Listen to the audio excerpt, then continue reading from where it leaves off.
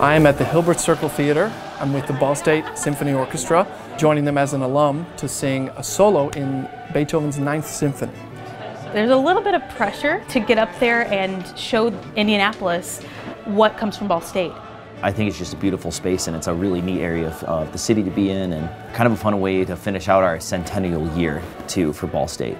For me to walk in the theater and think I get to sing up there, it kind of takes you back. It's, it's kind of breathtaking to realize uh, there's so much history here and then I'm walking down the halls and seeing the pictures of all the professionals that have been here and you know to think that I get to be the next one to sing on this stage is, is pretty amazing.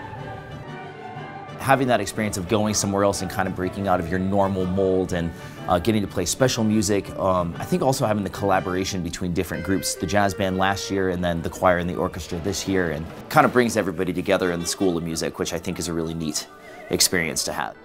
I'm very thankful to be at a school that cares so much about the arts as well as um, me being a pre-med biology major.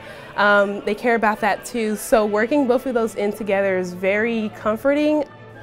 I gotta tell you, it's an incredible feeling to know that I got time on stage, I got amazing teachers who poured into me and who saw that I didn't really know what I was doing, but that I had potential. And they led me down the path to the professional point that I'm at today. I think just in general, I'm grateful for the opportunities that Ball State allows for its students and for its performers and for its musicians and kind of anywhere. But I think there's just, there's so many things that we can all be a part of uh, that get offered at the university. And so it makes it a really special experience for everybody.